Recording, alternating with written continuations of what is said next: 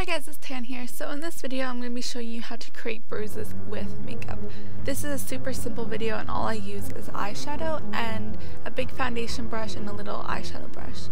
So in this video I'm going to be showing you how to create three bruises and this first one that I'm creating is just a more fresh bruise. It's a quite light bruise and all I used to create this was red, pink, and a later on I go back in and I add a little bit of more purple.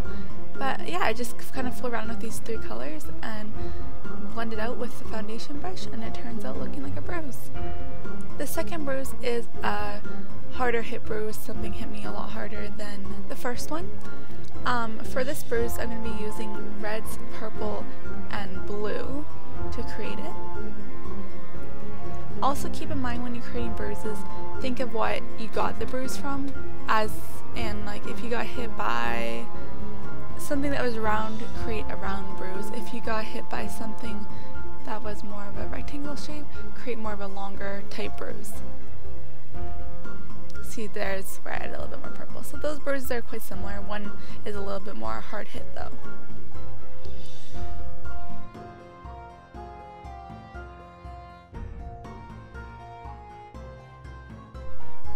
And then in this third bruise, I'm going to use greens, purple, blue, and then at the end I add a little bit of yellow. And this is supposed to be a bruise that I got hit with really hard and kind of over the days it started to turn to that kind of dark, ugly bruise color. So yeah, that's all I really do. It's just blending colors together and knowing which colors to use for which bruise and whatnot.